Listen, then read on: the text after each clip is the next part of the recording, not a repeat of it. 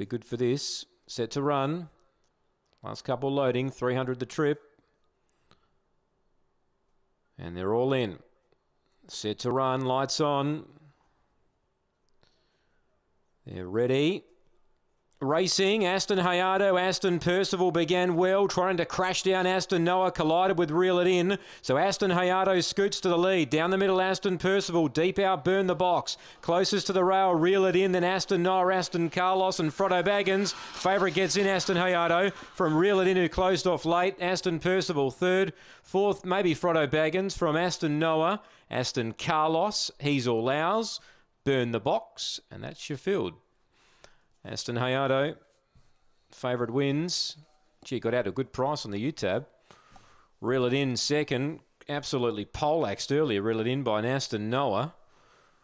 They collided and bumped a couple of times. Seven third Aston Percival. Four fourth Frodo Baggins. 1664 the time. 8374.